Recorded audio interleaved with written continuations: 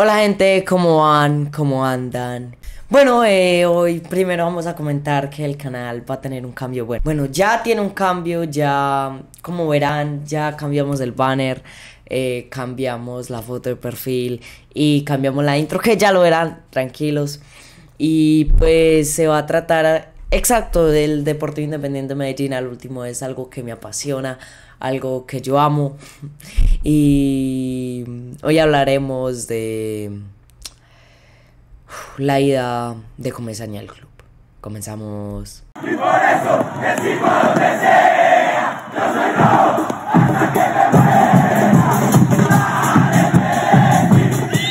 Bueno, antes de tener en cuenta de si está bien o mal que se vaya a Comesaña, eh, tenemos que hablar de algo.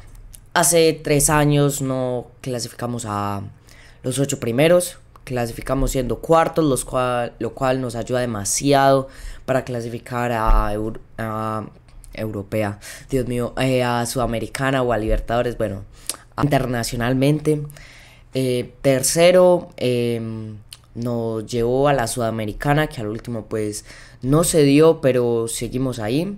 Luchamos hasta la última jornada por la final. El invicto en casa que lo perdimos a la última jornada en casa. O sea, conseguimos, eh, por ahí había visto eh, hace rato que eran 22 de 25 puntos posibles. Ya claramente son más. Eh, pero igual no cambia mucho. Y bueno, pues yo digo, claramente lo hizo mal y claramente lo podemos echar porque al último no dirigió bien el partido más importante. Pero Dios mío, en serio, eh, si no estoy mal, por ahí también vi que el somos de los equipos que más ha cambiado de director técnico y un director técnico no se ha podido quedar por más de dos años. Así que estamos, cambiamos un técnico que nos funcionó, que nos llevó otra vez a ilusionarnos. Yo, por primera vez hace tres años que yo me acuerdo que justo nos eliminó el Tolima también. Bueno, no nos eliminó el Tolima, pero fue por el Tolima. Eh, de octavo, de octavo, bueno, sí. De los cuadrangulares. Fue contra Tolima y fue. Dios mío, hace mucho tiempo jugaba Germán Ezequiel Cano, si no estoy mal, fue el último partido.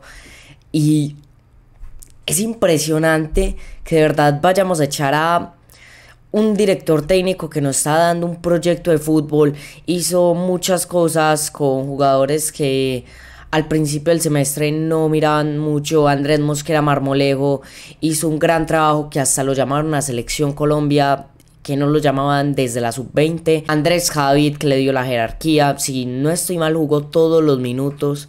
Eh, fue el jugador que más jugó dando la, jerarquía en defensa. Eh, el otro defensa central, que en ese momento se me da el nombre, que jugó los últimos partidos. Eh, se formó muy bien y antes no era nadie. bueno, los laterales, Dios mío, los laterales, eso ya es otro mundo. Juan Díaz, que Dios mío, era un canterano, lo hizo debutar y yo siquiera me encanta.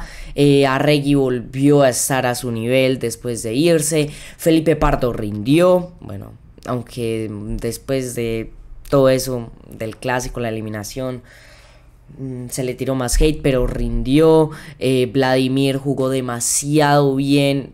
Desde Jean Pineda, eh, Brian Castrillón, que también hizo un gran trabajo antes del semestre, yo creo que poca gente lo conocía, o siquiera no habían brillado tanto. Eh, David Loaiza, que volvió, eh, tuvo un trayecto como capitán, la verdad a mí no me gustó casi, pero defensivamente muy bueno. bueno, que hablar de Luciano Pons, cómo lo trajo, cómo trabajó con él. Eh, lamentablemente después de la lesión no fue el mismo, pero aspiraba a cosas muy grandes. Eh, también eh, Didier Cambindo incluso cuando se lesionó Luciano Ponce al principio de, la temporada. También rindió, metió dos goles para clasificarnos a Sudamericana. así que formó un proyecto deportivo, que es lo que se, se debió hacer. Y para mí no lo deberían echar. Y es la verdad. Duela quien le duela. Para mí era un gran director técnico. Eh, habían fallos claramente. Pero tienen que dejar trabajar a alguien. porque si no dejan trabajar a nadie, eh, no se va a formar un proyecto deportivo, tampoco se va a ganar plata y somos de los clubes más pobres y de los que menos generan en el fútbol colombiano y es la verdad. O sea, un equipo tan tradicional eh, de los que inició la liga en Colombia y que esté en estos momentos por una mala dirigencia, eh, se decía que se iba a vender al último, yo no supe muy bien lo que pasó con eso, pero Dios mío, pongámonos serios.